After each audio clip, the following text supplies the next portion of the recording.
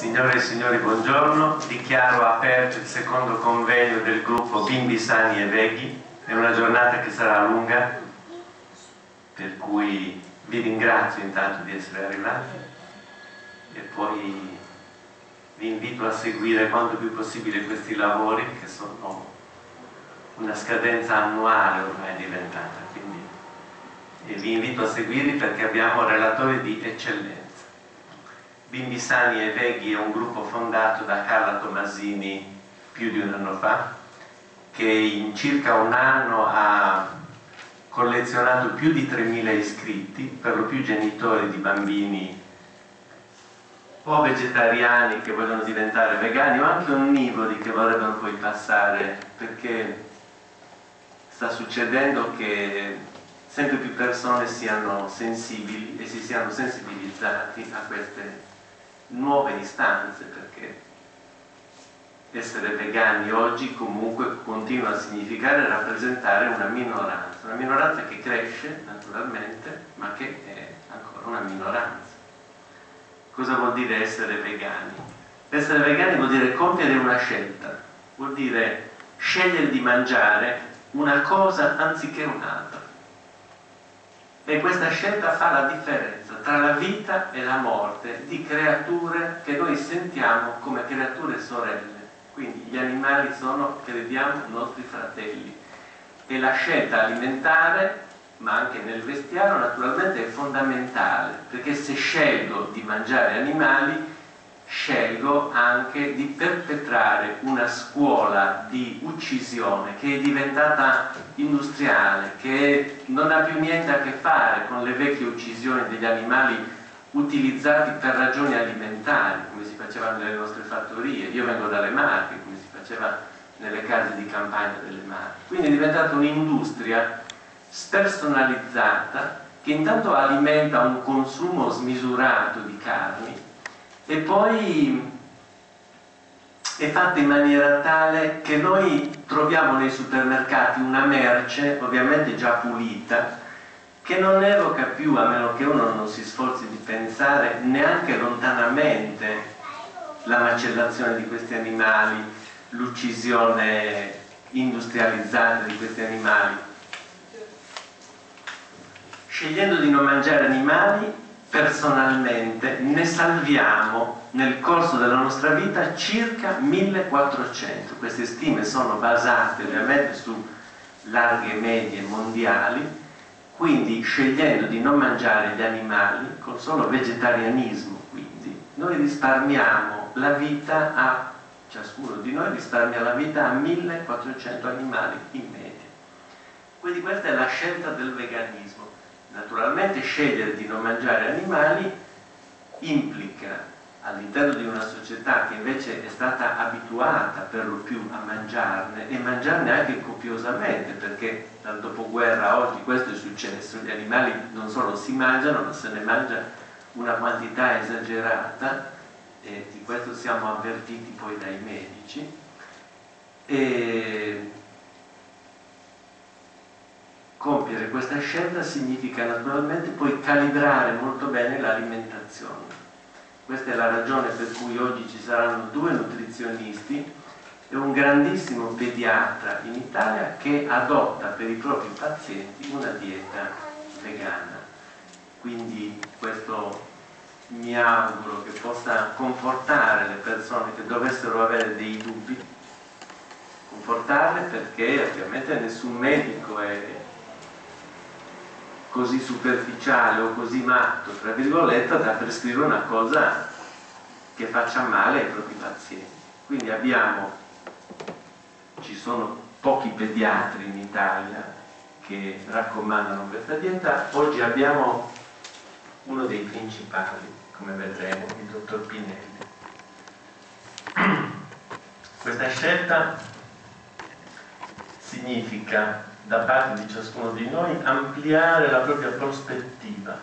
Noi vogliamo tutti bene gli animali, anche chi mangia gli animali ha i cani e i gatti, perché considera i cani e i gatti, vogliamo chiamarli degli animali di serie A, e considera invece i vitellini, i capretti, gli, annelli, gli agnelli, i pollastrri, li considera animali di serie B, cioè tradizionalmente utilizzati per eh, l'alimentazione.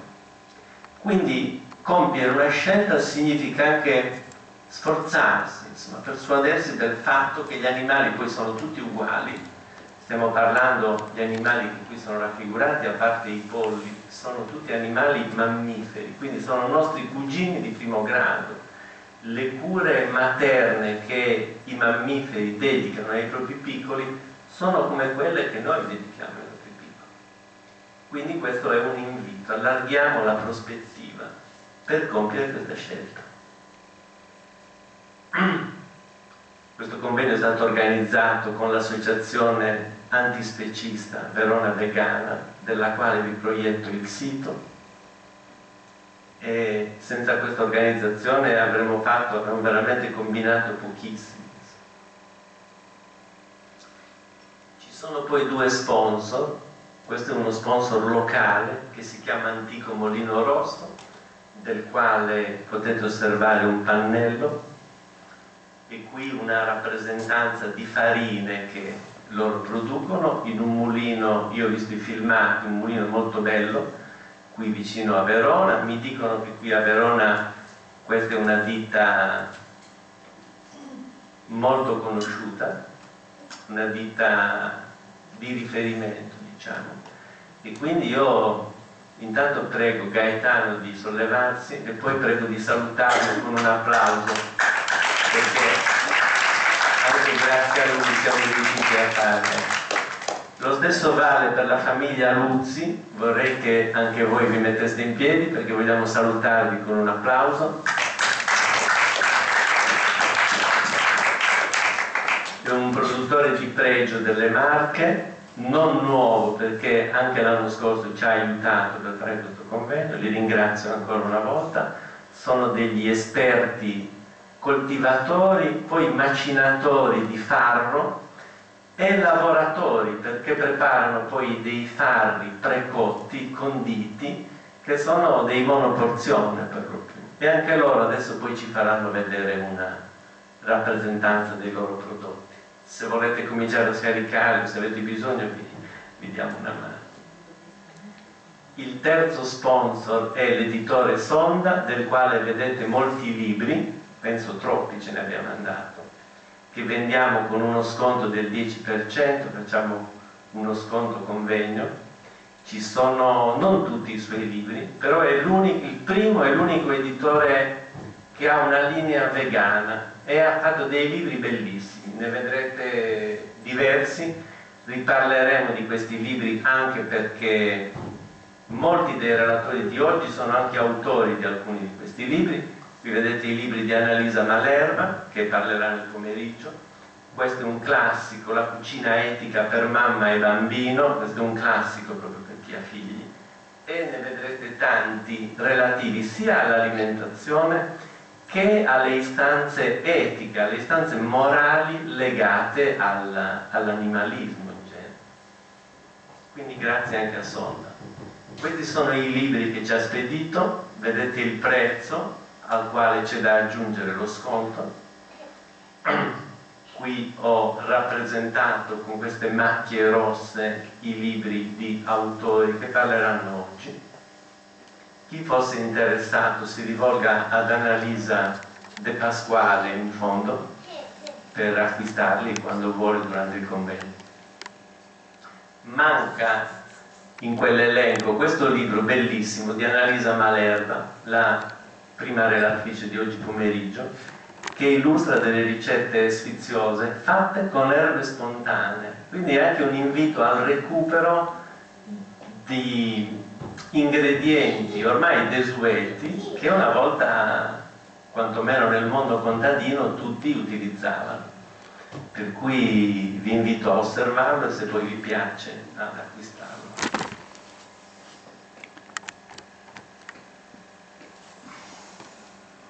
questo è il nostro programma la maggior parte di voi presumo siano iscritti al nostro sito quindi lo conoscono.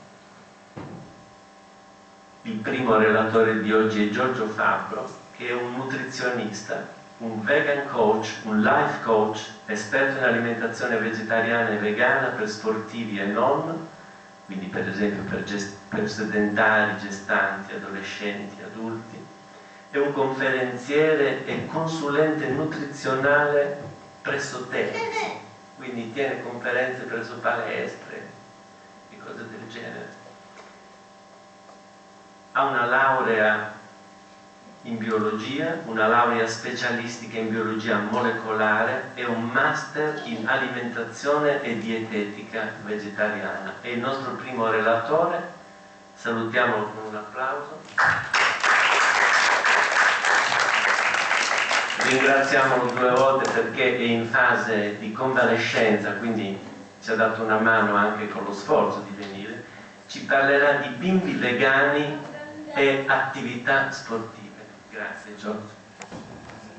Buongiorno, come state?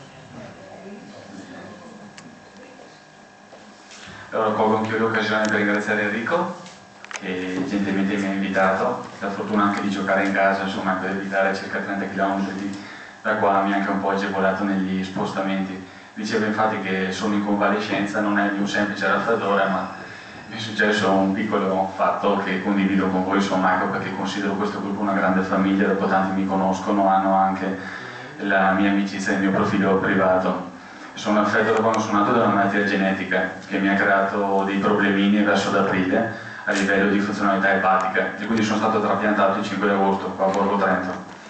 Quindi, sì, è fegato, quindi è che ci tenevo a essere qua e ho detto faccio il possibile, infatti gentilmente mi hanno anche permesso di parlare come primo relatore della giornata, insomma ecco però oggi è una giornata buona, quindi siamo qua e cercherò di condividere con la massima lucidità quello che ho realizzato negli scorsi giorni, insomma ecco, tutto lì. Avete visto comunque anche la mia presentazione, quello che faccio, chi sono, ho un paio di studi, nella Bassa Veronese a Casaleone, e poi lavoro anche presso una struttura Colonia Veneta che è un paesino insomma ecco, un po' più vicino qua al centro della città. È il borderline tra Verona e Vicenza. Io un po' poliambulatorio dopo anche lì faccio consulenza on demand oltre alle varie strutture insomma ecco, dove mi chiamano. Anch'io condivido con Enrico l'alimentazione vegan ormai sono quasi due anni io mi sono avvicinato al vegan per un discorso prima salutistico e poi diciamo così quasi in contemporanea però successivamente anche per un fattore etico. Perché quando inizi a vedere determinati video a renderti conto insomma e cercare anche di tirar fuori la famosa testa dalla sabbia perché il sistema ci impone spesso e volentieri anche per un interesse loro e non nostro di mettere la testa appunto sotto la terra ti rendi conto insomma, ecco, che hai mangiato, ti sei comportato per tanti anni in una determinata maniera, una determinata maniera che però può essere anche modificata tranquillamente. Allora, ovvio che io sono un tipo molto curioso di natura, ho deciso appunto anche di fare il master per avere il massimo delle informazioni, poi tutti quanti i vari libri, abbiamo la fortuna anche in Italia, grazie a Sonda, di avere dei testi spettacolari, di taglio sia scientifico ma anche un taglio comunque più easy, che chiunque insomma può leggere e informarsi, quindi dico sempre, se avete delle necessità, convegni come questi sono l'ideale perché avrete tantissime informazioni che cercherò di condividere anche con voi. Oppure defilate comunque in privato anche un nutrizionista, Verona insomma come avete visto lo vedrete durante la giornata è ricca anche di esponenti di questo tipo che condividono la vostra filosofia di vita. Oppure anche affidarsi a dei testi che siano comunque testi scritti da persone competenti. Quindi avete tre possibilità. L'importante lo dico sempre sia per voi per il vostro corpo, ma anche per i vostri figli o le persone chiamate, mai fare le cose a caso. È un invito che io giro sempre anche, tra virgolette, onnivori, carnivori tutti quanti. Quando uno decide, perché magari non so, ha qualche chilo in più, piuttosto che magari qualche patologia, eccetera, di affrontare un percorso di cambio di stile di vita, farsi sempre seguire o comunque avere le giuste informazioni. E la rete, ripeto, se non volete fidarvi ad, un, ad una persona insomma, che vi aiuta, un coach come sottoscritto, potete trovare tante informazioni, ma mai fare le cose a caso. Vedete il titolo dell'evento è Bimbi sani e veghi. Io sono un po' un giocherellone, lo vedrete perché cerco molto l'interazione anche col pubblico, almeno ci teniamo fedeli a vicenda, giusto? Perché dicono che dopo i 20 minuti la concentrazione va un po' a sparire, quindi dobbiamo cercare di stimolarci a vicenda.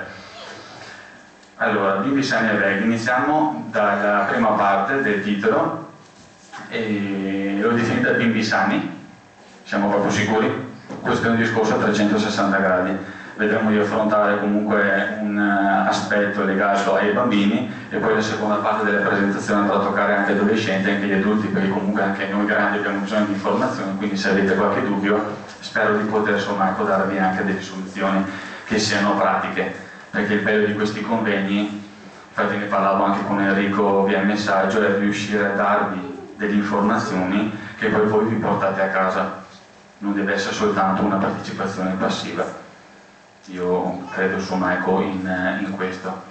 Allora vediamo un focus un po' a livello italiano. Purtroppo quando parliamo anche di sport, parliamo anche di bambini, eh, c'è una realtà anche a livello italiano che spesso uno pensa che sia soltanto oltreoceano o magari che sia arrivato soltanto in Inghilterra. Invece purtroppo noi in Italia anche ci distinguiamo a livello europeo, la problematica dell'obesità che per me è veramente insomma, ecco, una grande patologia, molto presente anche attorno a noi, è veramente insomma, ecco, da studiare, da analizzare e non da sottovalutare, come spesso accade. Okay?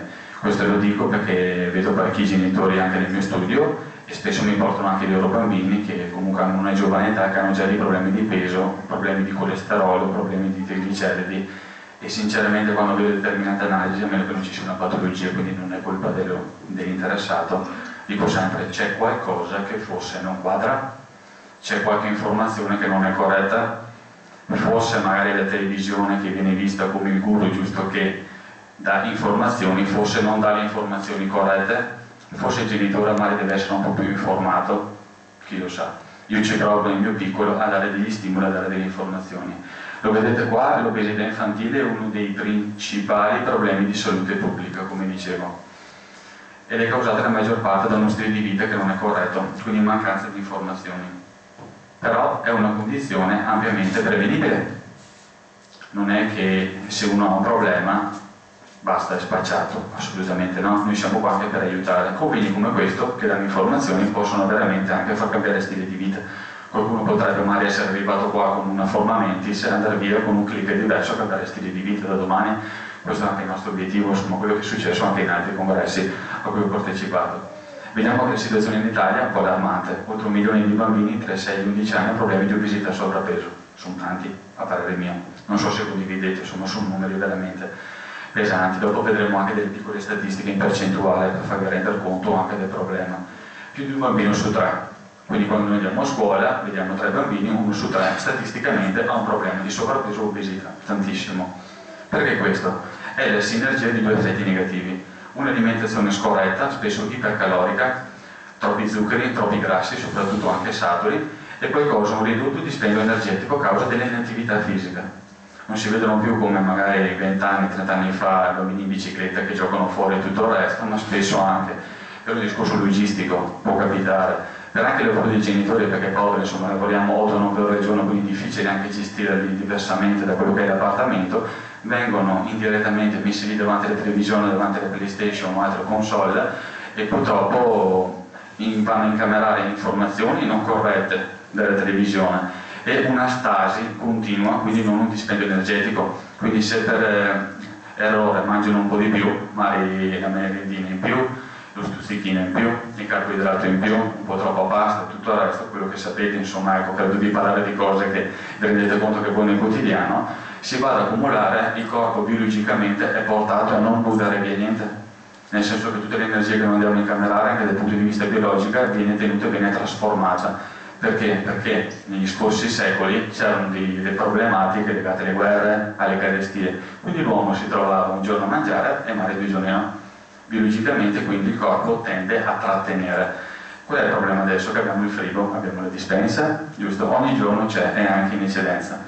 E quindi uno se esagera, se non è ben controllato, se è un golosone, io sono un golosone, lo ammetto, e rischia di incamerare calorie e gli zuccheri si trasformano in acidi grassi e il grasso di deposito sapete dove va e cambia le forme, diventiamo un po' più rotondini, meno aerodinamici dico rispetto a quello che dovrebbe essere, quindi bisogna appunto fare molta attenzione.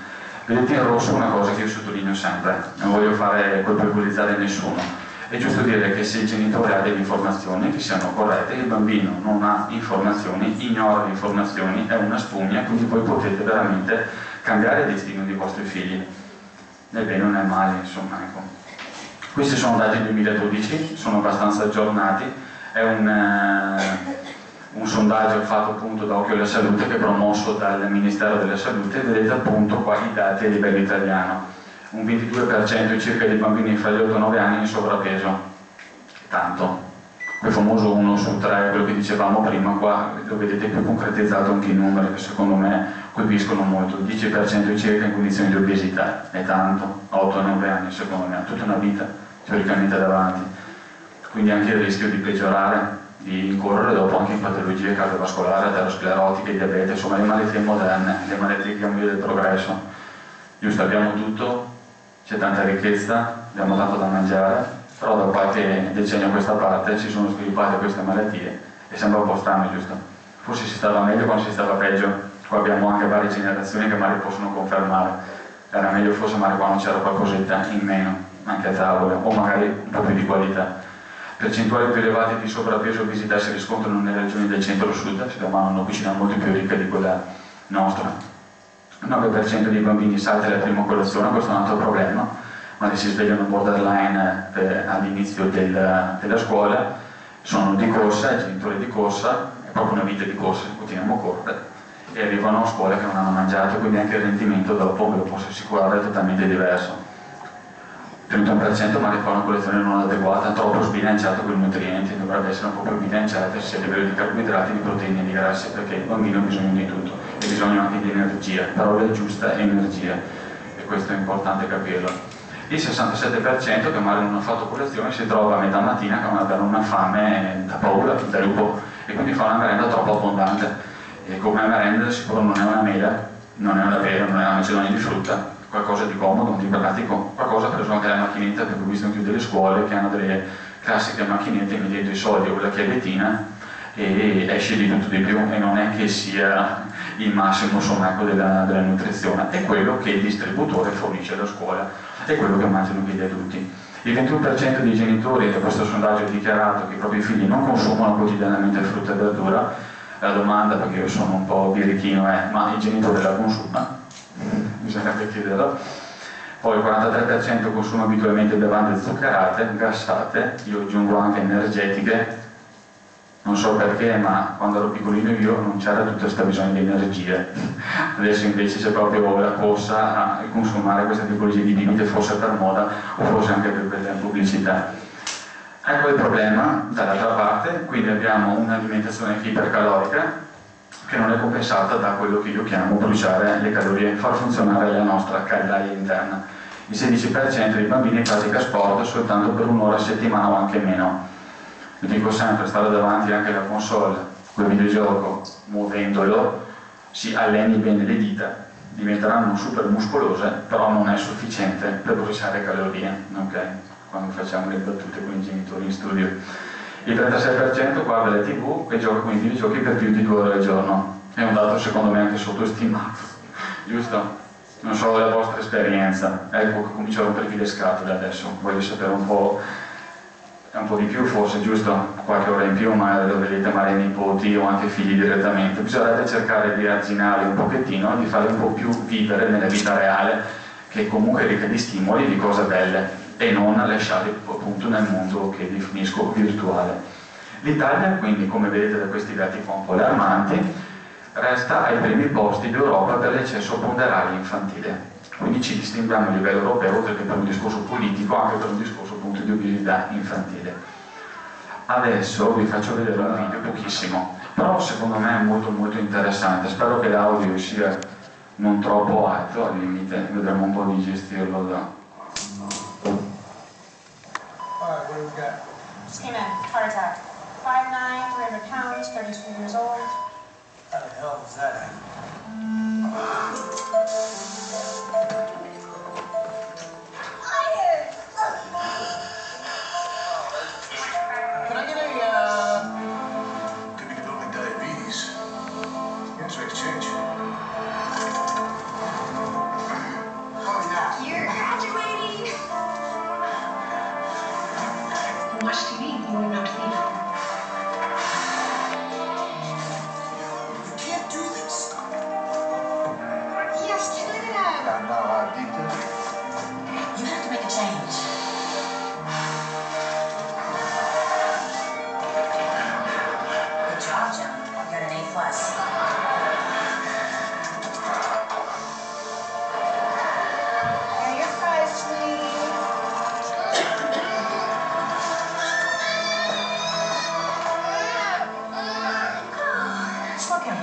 Questo è l'inizio del problema.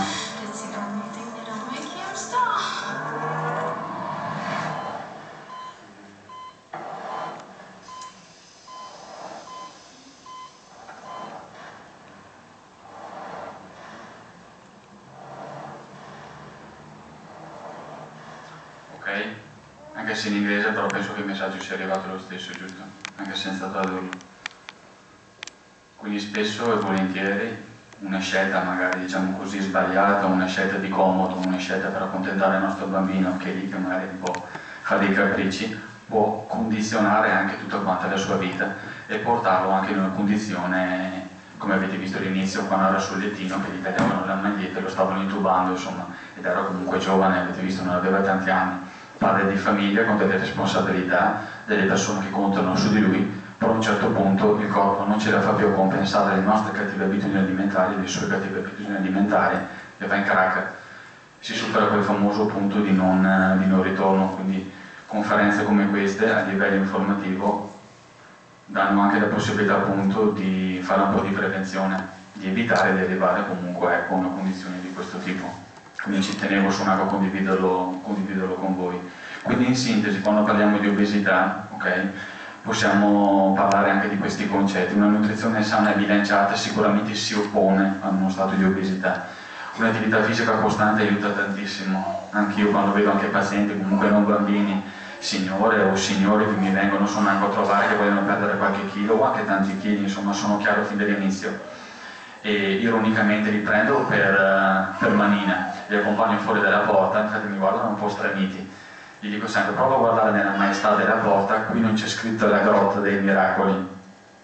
Il miracolo lo fate voi, costantemente, giorno dopo giorno. Se io arrivo a 50 anni con una determinata condizione, non potete pensare in giro di una settimana, di pochi giorni, un mese, di cambiare totalmente. L'importante è avere il giusto click e provare a fare giorno dopo giorno qualcosa in più per se stessi e anche per la propria famiglia, perché comunque abbiamo sempre delle responsabilità. Non mollare mai, per quello è importante never give up, proprio mai mai mollare.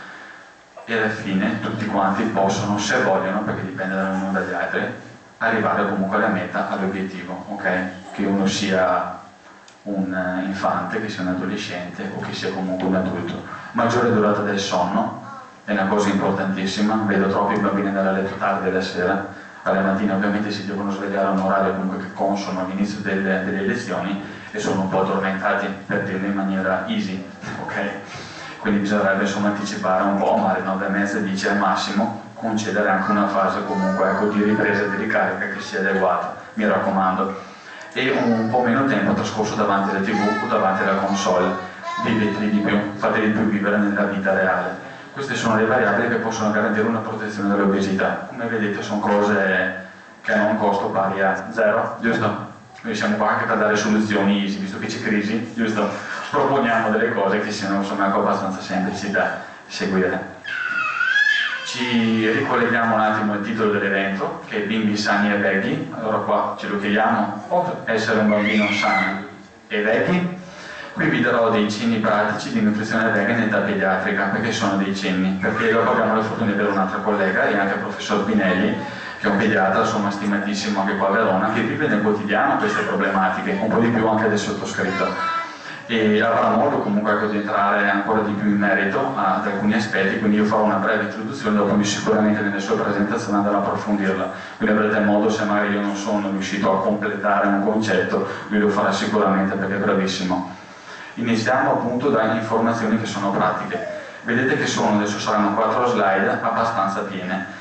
Io le realizzo così perché? Perché finché parlo uno può prendere appunti, può fare una foto, può portare a casa le informazioni che io ho preso dai miei testi, dai miei siti di riferimento e portarla a casa e utilizzarla appunto nel suo quotidiano, perché credo che comunque fare una presentazione in cui esce un poco per volta, quando tu arrivi alla fine, che cambi slide, è difficile comunque avere il concetto scritto in toto.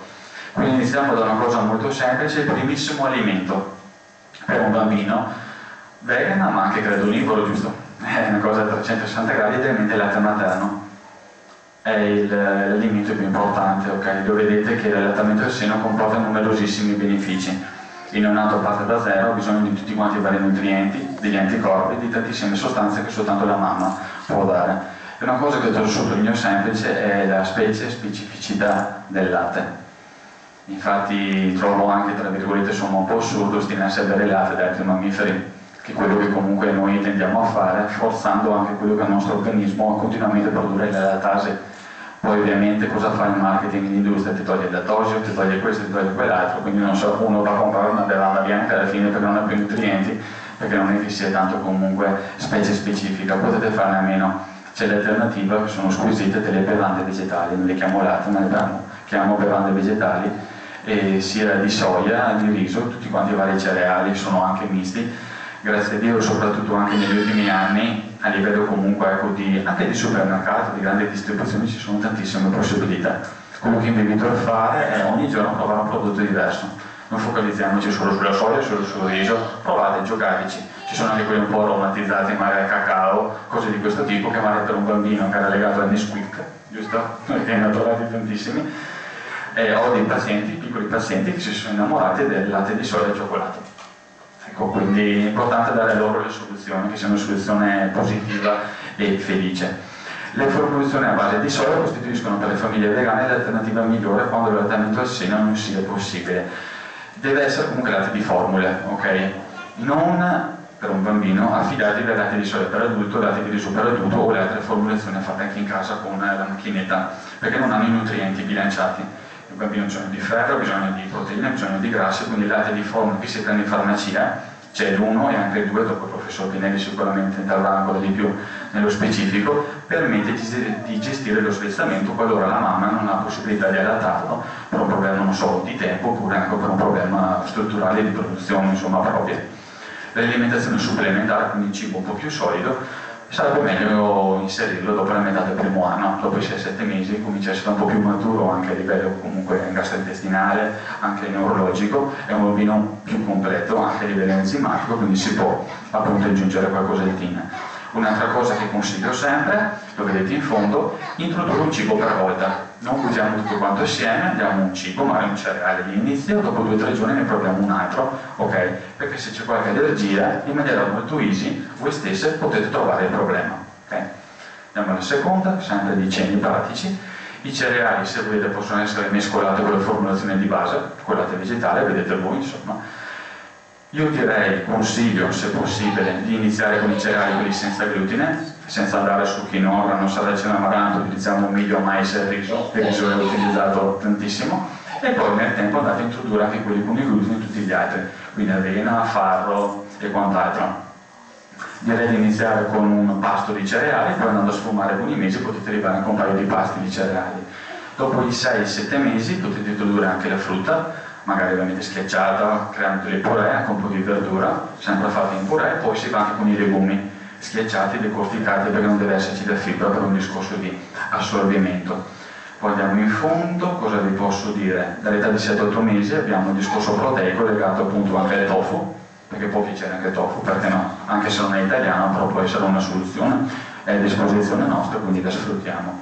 Lo yogurt di soia, eccetera. L'importante comunque è creare delle componenti comunque non troppo solide che siano più cremose, ecco, insomma, pensate agli omogenizzati, ovviamente voi ve lo fate in casa molto più in natura, quindi vi invito a farlo ed è bellissimo, lo vedete là che mette le manine, comincia a pastrocciare, vi divertite, insomma, ecco, sono momenti secondo me veramente indimenticabili di crescita reciproca. Poi, cosa vi posso dire? Vediamo un pochettino, il discorso del ferro, andiamo già a metà, se no io rischio di essere troppo noioso se leggiamo tutta quanta le scorte di ferro dopo circa sei mesi cominciano un po' a diminuire, anche quelle presenti nel latte materno, quelle di scorta, quindi è ovviamente sensato, ma questo viene proposto da qualsiasi pediatra anche per il bambino libero di andare a integrare. Ci sono dei cereali fortificati oppure potete fidarvi alla natura tranquillamente con dei cereali semi-integrali, perché l'integrale è meglio inserirlo dopo i due anni, legumi passati, decorticati, vegetali foglie verdi e frutta secca. Per esaltare l'assorbimento del ferro è sempre consigliata la vitamina C, che potete trovare in tantissime sfaccettature dalla foglia verde, succo di limone, ribes, insomma, ecco. Vediamo un po'. Un concetto fondamentale è anche quello delle calorie. Sappiamo che il bambino è in crescita, abbiamo due fasi, possiamo dire, da 1 a 10 anni e da 10 anni fino comunque al termine dell'adolescenza. Possiamo pensare appunto che nella prima fase un piano calorico può andare dalle 800 calorie circa alle 2600, pensate più anche di un adulto, normopeso nella fase successiva andiamo circa dalle 1600 alle 3200, che è tantissimo, ma non dovete preoccuparvi perché ha bisogno appunto dei famosi mattoncini, semplifichiamo il concetto, per crescere. Okay?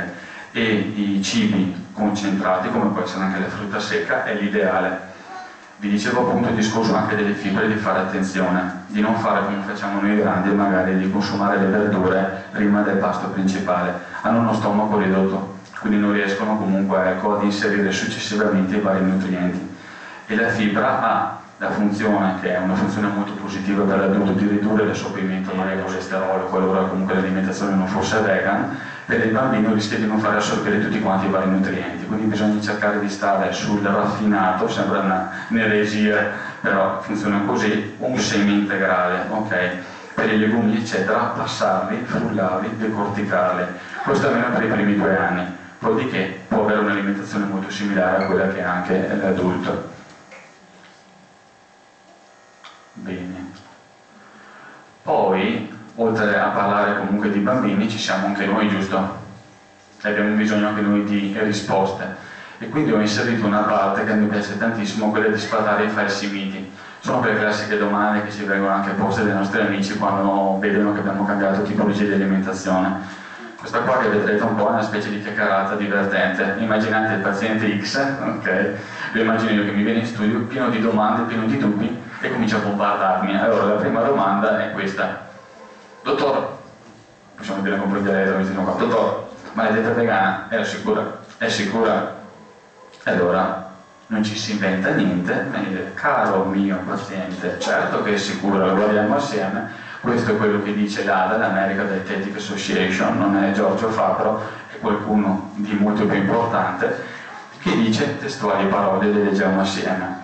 È posizione pure dell'ADA che le diete vegetariane correttamente pianificate, ecco perché vi dicevo, informatevi bene oppure affidatevi a qualcuno che ne sa un po' più di voi, comprese le diete totalmente vegetariane o vegane, sono salutari.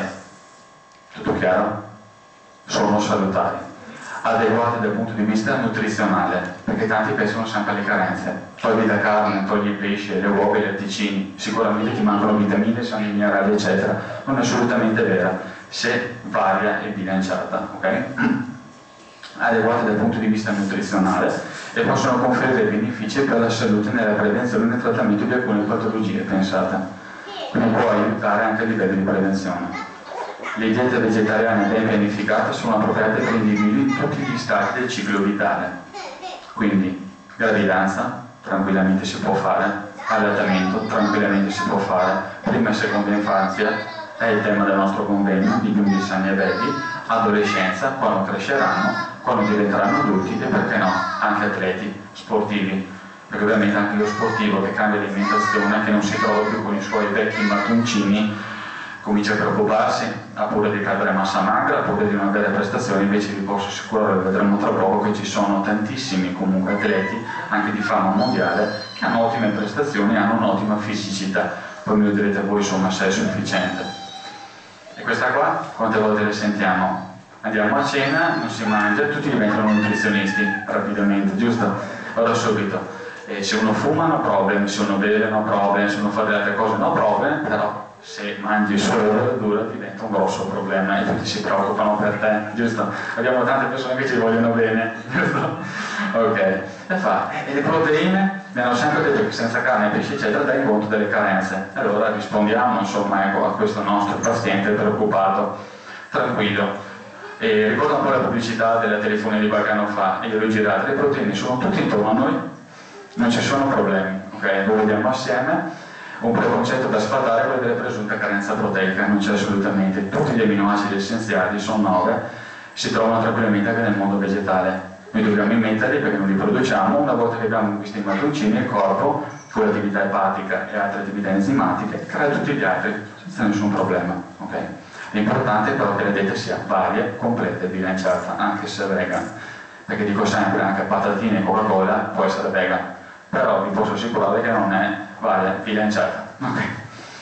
Chiunque assuma nell'arco delle giornate cereali e legumi, ok, vediamo che i cereali sono limitati per un aminoacido, lo leggete lì, non ve lo sto a fare troppa scienza se no diventa pesante, i legumi sono limitati in un altro aminoacido e se si compensano. Io vi posso dire non è nemmeno necessario farlo nello stesso piatto, perché tanti sono convinti se a pranzo non mangio cereali con il legume vado, rischio di avere delle carenze. L'importante è consumare all'interno della giornata o comunque ecco delle 36 ore tranquillamente. Abbiamo un pool aminoacidico di riserva, quindi no problem, no stress e sempre positività, c'è un effetto di compensazione. Nostra, il nostro corpo ovviamente ha pensato a tutto, a questo e a tanto altro. E poi ci sono alimenti già completi che si trovano in naturi pseudo cereali come la quinoa, il grano saraceno l'amaranto, la quinoa l'anno scorso è stato il cereale mondiale, insomma ecco, quindi ha un'importanza sempre più diciamo così, pesante e si trova tranquillamente nei negozi biologici ma si trova anche nel supermercato. Poi scegliete voi insomma ecco dove andare a investire i vostri soldi.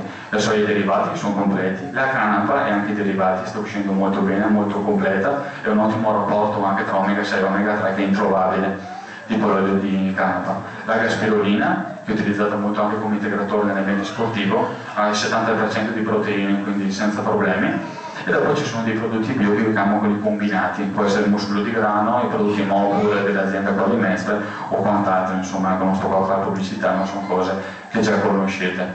Quindi la soluzione c'è. E quando mi dicono ah, ma costa troppo e tutto il resto, io vi posso assicurare, dopo se qualcuno vuole dare anche la propria testimonianza, alla fine del mese togliendo delle cose, mettendo queste, a livello di budget non spendo di più, anzi si spende più o meno lo stesso se non di meno, prendendo comunque anche benzina benzina di qualità, quindi perché no? Mi dico. Andiamo avanti con la simpatia del paziente che è preoccupatissimo perché è uno sportivo. Sportivo farà due volte alla settimana palestra, però si sente un atleta sportivo che vuole prestazione mi fa, dottore l'altro giorno mi stavo lavando, ero in doccia, sono uscito, ho iniziato a parlare un po' e tutti i nutrizionisti, veramente, davanti, dietro, di fianco, dall'altra parte, là, che mi coinvolgevano in discussioni importanti, mi hanno detto, palestra dove vado, parlano solo di uova e di carne, sono tutti amanti di Rocky, vedete presente il film, si svegliava la mattina, frigo, uova, fuori, salta su sulla scala in centro a Filadelfia. E dicono che mangia insalata, quindi un po' depresso anche perché si sente dire che mangia insalata e basta, perché chi è vegan viene visto soltanto come erbivoro, giusto? Vabbè, dopo vedremo se effettivamente è vero che mangiamo solo erba, sono tutti secchi, quindi tu non hai possibilità, se mangi soltanto insalata tu non riuscirai mai a crescere nemmeno come massa magra. Secondo me senza proteine animali non si ottiene alcun risultato, questo è l'amico insomma che lo sta stimolando a ricambiare stili di vita. Allora cosa gli rispondi? Io amo rispondere con i fatti, quindi ho la mia cartella con delle foto comunque ecco, di atleti in nature li vedete belli tonici, li vedrete, vi posso assicurare che dopo tanti anni di allenamento ci si può arrivare, non sono bombati, non sono estremi, non è Mister Olympia che vedete in questi giorni che stanno facendo appunto Las Vegas. Questo è uno, è bello americano, ama molto la calistenia, cioè l'esercizio a corpo libero. È da qualche anno che è vegan, è circa dieci anni che si allena e ha una bella tonicità, quindi secondo me massa magra non manca, che dite voi bello tonico, non è enorme, però secondo me è una bellissima fisicità, insomma, ecco, a trovarne anche, no no, andiamo avanti, ho detto Mario uno non ci crede, andiamo nelle Guinness World Record, che Mario può essere, c'è sto signore qua, che è vegetariano dal 2005, quindi mangia erba da tanto tempo, quindi è da tanto tempo che rischia di avere carenze di non avere proteine animali, ed è vegan dal 2011 ha fatto questo piccolo record, lo vedete qua, 550 kg, quasi una macchina, per 10 metri sopra le spalle, così per essere un po' più tonico, per dimostrare insomma ecco, che si può arrivare a questi risultati. Lo vedete che bello gonfio, un grande sforzo, però ce la sta facendo. Pensate al potere dell'insalata, sicuramente sarà molto biologica perché per dare risultati di questo tipo qua senza proteine animali, perché bisogna dopo anche convincere nonostante i risultati dei pazienti.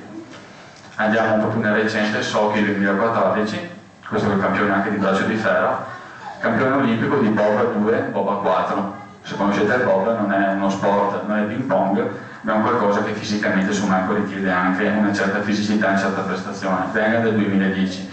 Lui questo 4 anni che mangia insalata andiamo, cambiamo sesso, ok, vediamo Megan, medaglia d'argento alle Olimpiadi invernali sempre di Sofia 2014, pattinaggio di figura squadra venga del 2008, ottimi risultati anche per lei, insomma, per arrivare a questi livelli ovviamente bisogna avere tanto allenamento, tanta fisicità e la giusta nutrizione, credo, non solo insalata, che dite, penso. Altro amico del team Clean Machine americano, che seguo ovviamente anche su Facebook, loro hanno un gruppo si chiama Vegan Bodybuilder and Fitness. Noi ne abbiamo fondato un altro che è quello italiano che potete trovare tranquillamente su internet, dove ci sono tanti anche atleti italiani che si stanno veramente distinguendo a livello anche internazionale per la propria fisicità, insomma. Ma questo qua mangia insalata da un po' di tempo, addirittura lui comunque è nato vegetariano, come sua cultura personale, ed è vegano dal 98 prenderà qualche integratore come prendono tutti quanti, però vi posso assicurare che è un semplice integratore, quindi magari delle proteine, sempre di soia, qualcosa post workout, perché sono persone che hanno un consumo calorico di 6-7 mila calorie al giorno, per riuscire a fare anche magari 2-3 volte al giorno allenamento perché è il loro lavoro, quindi hanno bisogno di tantissimi nutrienti, lo stomaco è quello che è, quindi cercano ovviamente anche di cibi concentrati che sono da diluire magari con del latte di soia oppure con, con l'acqua e questi qua sono alcuni indirizzi web utili se avete Facebook e quant'altro potete andare ma basta metterlo anche su Google venga un bodybuilding e adesso esce il mondo. È proprio cambiato tutto quanto in giro di un paio d'anni da questa parte come il nostro gruppo Giuseppe Enrico eh, fondato lì da, da, da cara Carla non c'era niente adesso siamo in 3000 spaventoso. Quindi è proprio il momento ideale. E il ferro? Dico sempre vale con Fabro meglio di me insomma, può darti delle indicazioni sul ferro, va tranquillo. Poi guardiamo un po' il LARN, che è la soluzione raccomandata, ho messo alcuni dati dell'adolescente, che è molto similare anche a quello dell'adulto, vete in gravidanza, che però è giusto integrare, ma lo consiglio a qualsiasi ginecologo, barra ginecologa, appunto per le riserve che dicevamo prima. Due cosettine semplici, l'imitazione vegan contiene ferro pressoché non M, quindi ha una difficoltà di essere assorbito, bisogna evitare certe sostanze che inibiscono l'assorbimento del ferro, ma questo è un consiglio che do anche agli onnivori, quindi non esagerare con tisane, con sostanze nervine, perché a livello gastrointestinale in alcuni soggetti riducono l'assorbimento di tanti minerali. Okay? E cercare quello che va a facilitare l'assorbimento, che è la cara e mitica vitamina C si trova ovunque, quindi anche qualche goccia di succo di limone sui legumi, sulle verdure, dà un po' di gusto, evitate l'aceto, evitate l'utilizzo dell'olio in grande quantità e avete tutto quello che vi serve tranquillamente. Ho pazienti che avevano problemi anche di anemia, emoglobina bassa, ferro basso, trasferina, ferritina, sideremia, che hanno risolto cambiando alimentazione. Quindi per chi è convinto che porti un problema, io ho avuto pazienti che invece hanno risolto il problema, che non riuscivano però a risolvere quando erano onnivori, quindi magia e mistero. Qua vedete appunto il contenuto anche di ferro in alcuni alimenti. La carne di cavallo, ve la ricordate? È sempre stata consigliata per eh, la quantità di ferro eccetera però vediamo che dei legumi come di fagioli e borlotti ne contengono più del doppio a parità di peso. Quindi sta a noi scegliere se mangiare il cavallino oppure mangiare appunto quello che è un legume. È sempre una nostra scelta. L'importante vi dico avere le giuste informazioni e renderci conto che abbiamo comunque un'opzione. Il primo del cacao amaro in polvere. Fate attenzione a non mangiare troppo cioccolato. E il calcio anche qui vediamo un po' i livelli di assunzione raccomandata, li vedete in milligrammi per giorno. Io ho soltanto qui fattori che possono condizionare la perdita di calcio. Non parlerò di patologie, però leggendo assieme a me capirete che fosse una problematica come l'osteoporosi bisognerebbe magari, non so, rivederla e ripensarla, giusto? Do degli assist, però non mi addentro, se no restiamo qua fino a domani quindi dieti iperproteiche, animali, creano un'acidosi, il corpo per bilanciare il pH e un suo meccanismo di difesa estrema deve andare a tamponare il pH, quindi cerca delle sostanze che siano alcaline, degli ioni positivi, il primo che va a prendere è quello purtroppo per noi il calcio, dalle ossa, che si combina appunto con lo ione acido, si normalizzano, si neutralizzano a vicenda e viene va escreto attraverso comunque la funzionalità renale, quindi con le urine, la famosa calciuria. Quindi esagerare con le proteine, esagerare anche con le latticine, eccetera, non è che sia la soluzione su una problematica di questo tipo. Caffeina in eccesso, sodio in eccesso portano a perdita comunque di calcio e ridotta attività fisica. Quindi la cosa secondo me da ragionare è questa, più che pensare a come immetterlo il calcio, bisogna pensare a come non perderlo. Ci siamo capiti, giusto? Quindi fate attenzione e riflettete sempre, insomma, ecco, perché quello che avete nel piatto può decidere di mandarvi su una strada oppure mandarvi su un'altra strada. Andiamo avanti, qua vedete appunto il contenuto anche di calcio in uh, cibi comunque anche green, possono essere i cereali, poi abbiamo comunque semi di sesamo, abbiamo il tofu, abbiamo tantissime comunque possibilità a livello nutrizionale per consumare le quantità di calcio che ci servono. Addirittura degli studi dicono che uno se è vegano ha bisogno anche di meno calcio, perché comunque la perdita è inferiore rispetto comunque a un algo onnivoro. Quindi ci si può giocare anche qui in maniera tranquilla senza alcuna preoccupazione. L'importante, scusate se insisto, dieta varia, completa, bilanciata, ok? Che ci sia un po' di tutto nell'ambito ovviamente del vegan. Andiamo avanti, il resto della spesa. Anche questo è un problema, secondo voi? Non credo, giusto? Guardiamo un po' anche il discorso delle vitamine, sono dei nutrienti che non apportano energia ma sono fondamentali, fanno parte di attività enzimatiche e tutto quello che comunque ecco, crea stabilità anche a livello del corpo per qualcuna di queste diciamo così è salita la ribalta un po' di più insomma ecco e avremo modo adesso di parlare un po' perché ci tengo a darvi anche altri concetti un po' più specifici in modo da tranquillizzare se qualcuno magari ha anche delle paure insomma ecco delle problematiche Abbiamo due tipologie di vitamine, quelle idrosolubili, che sono la maggior parte, però sono anche termolabili e fotolabili, quindi sono molto molto delicate. Parlo di vitamine del gruppo B e anche la vitamina comunque C, e vengono perse nell'acqua di cottura spesso volentieri. Quindi fa la differenza anche come cucinate. Quindi è meglio cucinare al vapore piuttosto che stare a strassare molto la verdura, perché resta la verdura, però quello che è importante della verdura lo trovate magari nell'acqua che dopo andate a buttare quindi se vedete dell'acqua che dopo la cottura anche a vapore è un po' colorata, lì ci sono dei principi attivi, riciclatela magari per fare un minestrone o qualcos'altro, non buttate via niente, perché se le perdete potete compensare il giorno dopo, insomma ecco. E poi abbiamo quelli di solubili che hanno un'attività comunque più legata ai grassi, la, la D, la E e la K, non sto qua a far scienza, perché voglio concentrarmi su questa. Se ne sente parlare giusto? Voi che dite? È salita molto, secondo me, in eccesso anche alla ribalta, il discorso delle B12. Questo non significa che non sia indispensabile, per me dal punto di vista scientifico è di fondamentale importanza, però non deve essere la paura, non deve essere quello che frena, perché ho avuto dei pazienti che non volevano cambiare stile di vita, ho detto dottor, non ho più le B12, dopo come faccio? Non voglio integrare senza sapere, però questa idea raccontatela un po' e diciamo guarda che tutti i derivati animali che tu vai a consumare e avendo avuto comunque ecco, anche integrazione, avendo avuto anche comunque so, dei foraggi un po' particolari, antibiotici, quindi non li producono più di loro perché comunque l'illuminante la fa anche di suo la B12, guarda che la vanno a integrare, quindi tu indirettamente hai sempre consumato integratori, è sempre la Matrix la scena dopo eh, mi guarda, mi fa ma è sicuro? Sì, eh, vengono integrati anche loro nei foraggi, qua la possibilità invece di integrare lei direttamente, quindi ha anche la possibilità di scegliere. Là non si sa da dove arriva questa B12, qua se se la prende, long life, soiver, quello che vuoi, la marca che preferisci, la somministrazione che preferisci, sai che è di formazione comunque batterica che è quella naturale. Sarebbe bello riuscire a trovarla ancora spontaneamente eh, attorno a noi, bisogna mangiare la terra, però se uno mangia la terra rischia di avere altre problematiche gastrointestinali, non so se concordate con me, quindi bisogna trovare le giuste vie, le giuste vie di mezzo e via. Vabbè.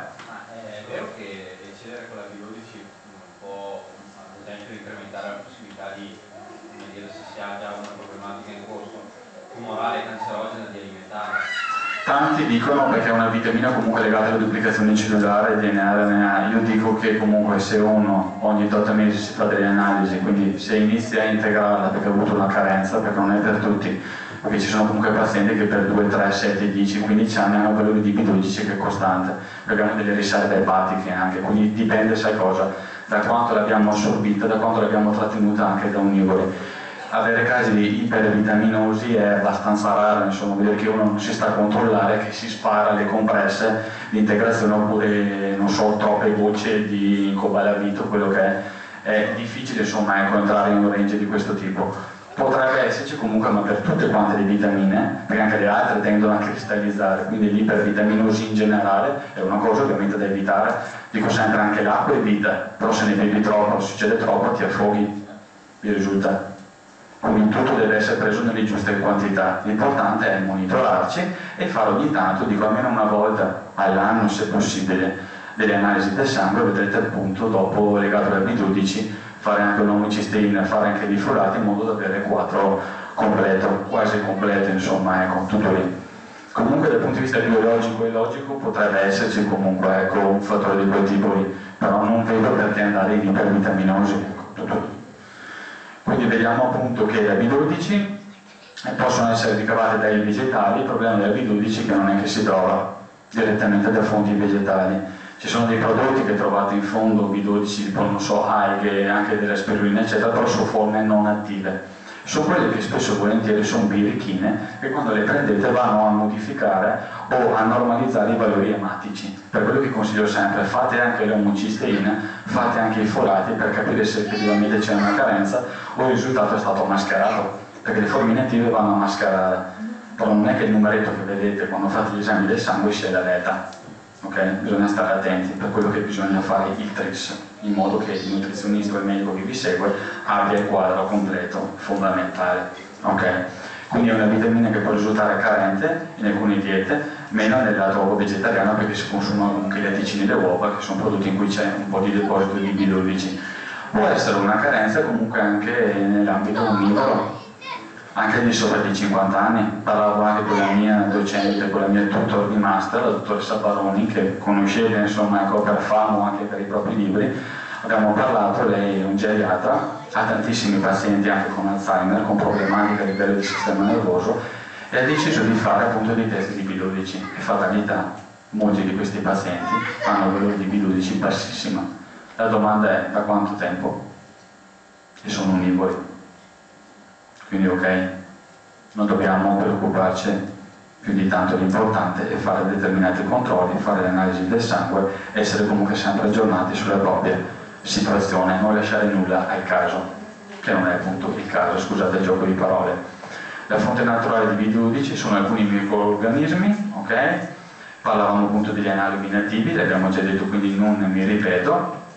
Abbiamo diverse forme di B12, quelle attive sono due, principalmente la metilcobalamina, quella che viene più utilizzata dal nostro organismo, e la B12 è un coenzima, quindi anche la funzione insomma, ecco, di andare a potenziare ed attivare funzioni enzimatiche fondamentali in quali processi biologici, metabolismo degli acidi grassi, delle proteine, dei carboidrati, perché agisce in sinergia anche con le vitamine del gruppo B, che sono quelle che insomma, ci permettono di assorbire i nutrienti a livello energetico, okay?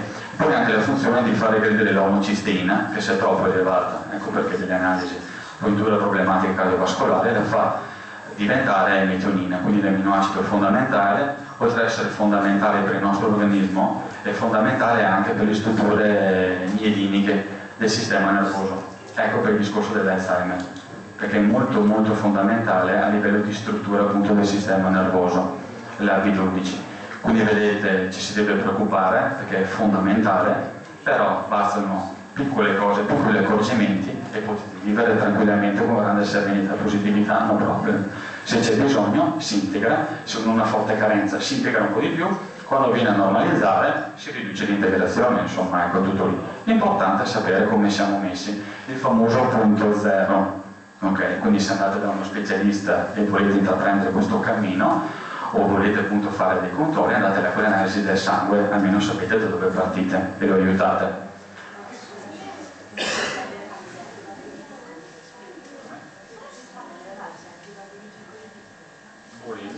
volendo sì, volendo sì. Il discorso B12 si riscontra un po' di più comunque anche nel, nell'adulto.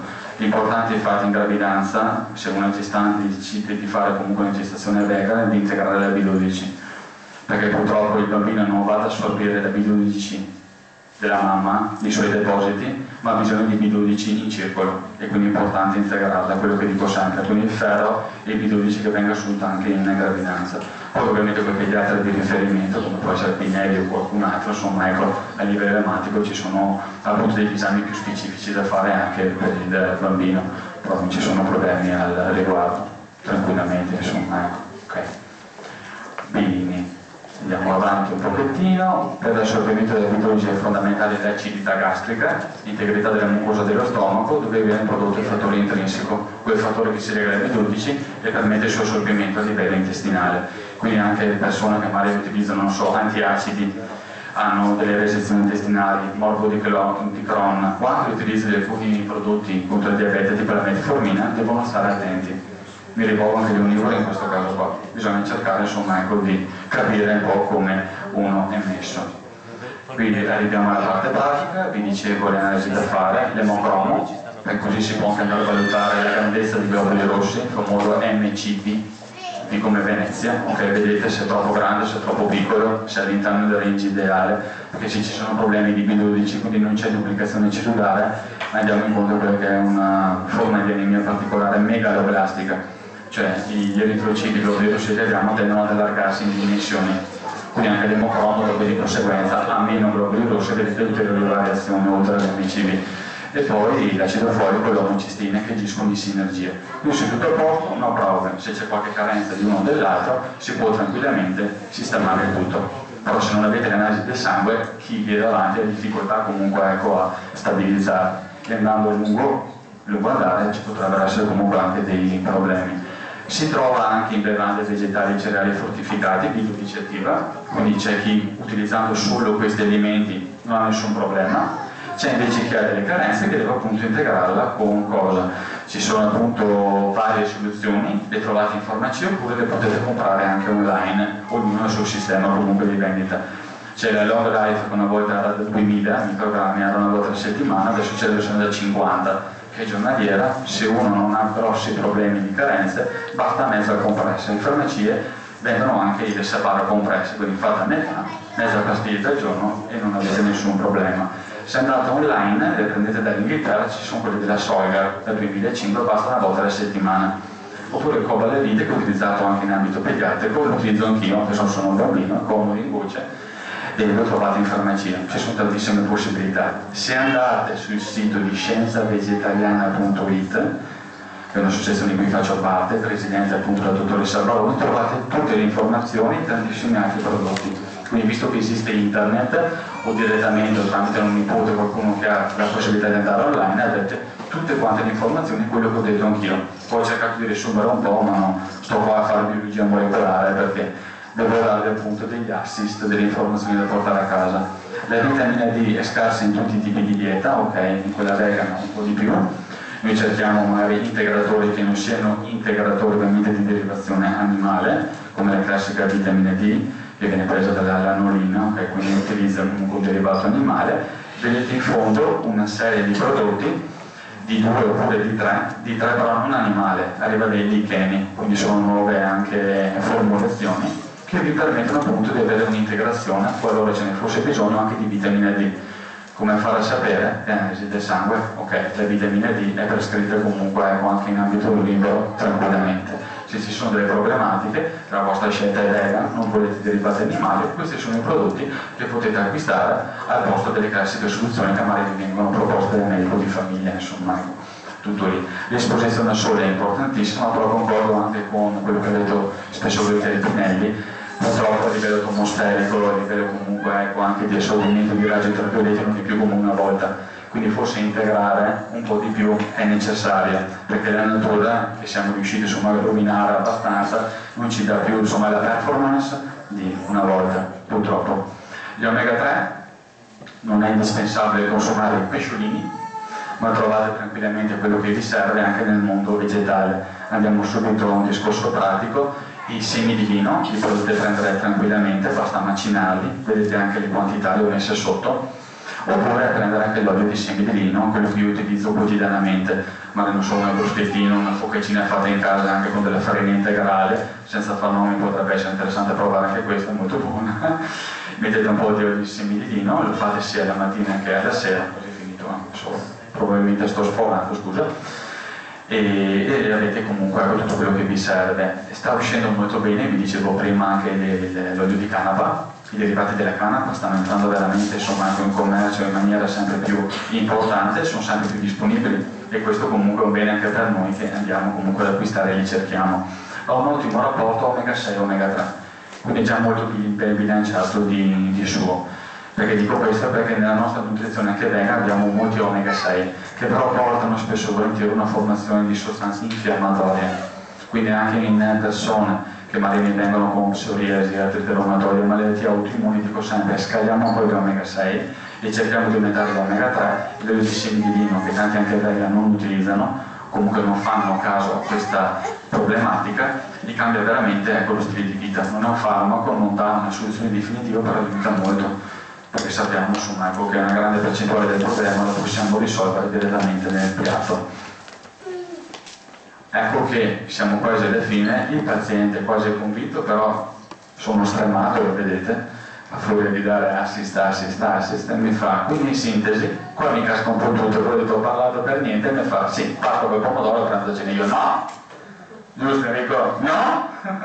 Solo questa roba qua, eh, c'è tanto altro, allora, non solo bisogna cercare di spaziare, quando uno pensa ai cereali pensa solo alla pasta, io dico guarda che sono 12 cereali, se non ti stanno simpatici tutti quanti, almeno non so, 7-8, proviamo a cambiarli. Vedete quelli rossi sono quelli senza glutine, quindi se qualcuno ha una gluten sensitivity o una celiachia comunque accertata, qua tranquillamente sono, potete trovarli sia nella forma originale, fanno anche delle paste, ho visto pasta di riso, esiste la pasta di quinoa anche spaziale, quindi l'industria, insomma anche quella tecnologia ci permette di avere delle cose che fino a qualche anno fa erano impensabili e aiutano anche più persone comunque ad avvicinarsi a questo mondo. I legumi, meglio secchi, da mettere in ammollo, ok? Evitiamo quelli da latta, che dal punto di vista nutrizionale non è che siano proprio il massimo. Potete cucinare, specie per i fagioli, perché possono dare dei problemi di fermentazione di gas, con l'aira o l'alloro quando voi li cucinate con l'aria dell'oro, giusto Enrico che è uno più pratico del sottoscritto, si dice, giusto, abbiamo provato anche noi, che il problema secondario è ridotto. Fagioli, lenticchie, soie, ceci, cicerche, fave, lupine e piselli sono legumi. Quando uno pensa ai legumi magari pensa soltanto alla pasta con i pisi, come dicono qua da un'altra parte, giusto? oppure soltanto con i fagioli, sono tanti. Oppure anche derivati più esotici, tofu, tempeh, seitan, oppure altri prodotti va bene anche piatto unico, cereali più legumi, insomma, ecco, non è che sia indispensabile, l'ho detto prima, però si può tranquillamente fare ed è anche molto gustoso, e lo mi sarei scorpreso anche nei miei piatti. Queste qua sono alcuni piatti, sono delle foto, insomma, ecco, fatte in casa dai miei compagni Ilaria qui davanti. Farei un applauso anche perché oltre a sopportarmi è un'ottima cuoca. Questi sono sofficini fatti in casa e anche figlia le apprezza tantissimo, insomma, ecco, sempre con il limone, eccetera. Sono ricettine semplici alle fine.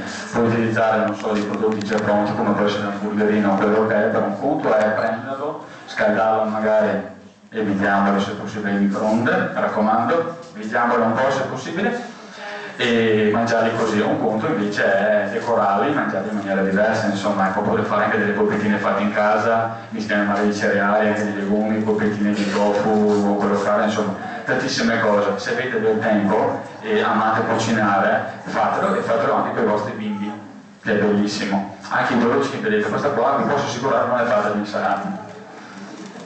Non ce l'aveva, oppure se è stato veramente brava che è mascherato la sacher vegana. Okay. Se avete bisogno di informazioni e quant'altro, io sono teorico, faccio le foto e mangio la parte pratica lascio a lei che resterà con noi, quindi le ricette le può lei anche una pagina Facebook, si chiama Peggy Rainbow, dove appunto carica tutto e spiega come fare i piatti. Questo qua è un piattino crudista, ci ho provato, è difficile, ma ci sto provando, sono sincera, ok? Questa parte in casa, anche questa qua, sembra wurstel normali, vi posso assicurare che non c'è nessun cadavere all'interno della pizza, ma sono comunque di wurstel quelli di seitan, di farro, di, di lupino, ecco, che è uno dei top come legume, utilizzatissimo anche nell'ambito sportivo, mentre se vi interessa sapere il top come performance eh, a livello di cereale, oltre a quinoa, grano sale, cena amaranto, hanno tutto, il farro e l'avena sono al top come proteine, quindi gli sportivi li preferiscono molto anche a colazione con i cereali. Questi qua sono altri pettini, come velocemente, se no lo butto un po' agli altri colleghi, scusatemi. Questi qua sono dei locali veg, vegetariani e vegani a Verona in provincia. E l'ultimo è stato aperto qualche tempo fa, San Bonifacio vi ho messo i nomi perché trovate le informazioni su Google, numeri di telefono, tutto il resto. Non voglio fare pubblicità a nessuno, non ho preso nessuna royalties, però sono qua per dare appunto degli spunti pratici perché abbiamo bisogno di punti di riferimento. Siamo fortunatissimi a Verona, soprattutto con in città perché i primi sono quasi tutti in città. Okay. Il primo ultimo è esempio, Sentieri del Gusto, sono gli ex titolari che adesso sono alla lanterna, quindi sono uniti, e l'ultimo di San Bonifacio. Questi qua sono alcuni siti, ma voi ne sapete sicuramente più di me, anche le donne che sono qua, che cucinano, giusto che hanno un'esperienza più pratica del sottoscritto, però ho messo qualcuno, anche Facebook, che può essere utile ogni tanto, avete dei gruppi interessanti, oltre al nostro gruppo, giusto, che quello è più interessante di tutti i gruppi bimbi sani e belli. Mm. Questa è la mia pagina, quindi se volete contattarmi, lo trovate tranquillamente anche su internet, o basta mettere anche su Google nutrizionista vegan e esco io quindi avete modo di contattarmi, di mandarmi email per qualsiasi cosa, un consiglio. Io se posso, anche online a distanza, comunque ecco, cerco di aiutare nel mio piccolo, insomma. Questo è importante, ok? Non è periodo di Pasqua, però vale tutto l'anno, ok? Amiamoli, non mangiamoli. Lo diceva anche Enrico, cerchiamo giusto di aggiustare il tiro della nostra visione, non guardiamo soltanto gli animali di classe A, che non si sa perché sono stati classificati così, e guardiamoli un po' tutti, perché sono tutti quanti di classe A, tutti quanti. Adesso l'ultima cosettina, un altro video simpatico, mi sono chiesto, parliamo di bambini, parliamo di fast food, parliamo di cibo spazzatura, di sovrappeso, giusto di obesità, di cattive abitudini alimentari. Io amo molto anche gli animali e mi sono detto, ma se anche nella savana ci fossero questi problemi qua, perché può capitare, perché può capitare. Come sarebbero gli animaletti? Questo animale può essere anche carino per i bambini. E questa qua potrebbe essere la situazione. Che dite? Spero no? Gustate, dura poco, simpatico. È un po' di difficoltà, vedete? Che carino. Ta ta ta ta. Ta ta. Sbilanciatissimo. Poca massa magra. Vedete? Non ce la fa. Però si salvano. Si guardano cosa è successo. Il gattone.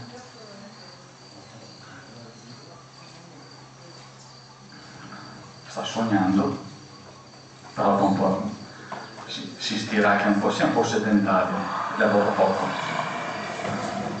L'equilibrio, attenzione, oh, oh, no, tum, tum. È comodo anche nel rimbalzo. Qui abbiamo una situazione tipica della savana, la ricerca di cibo, però sono entrambi in difficoltà, sia la preda che il predatore. Lo vedete? Qua c'è un ralenti per farvi notare lo sforzo, si toccano e rimbalzano. Tutti e due. Poverini.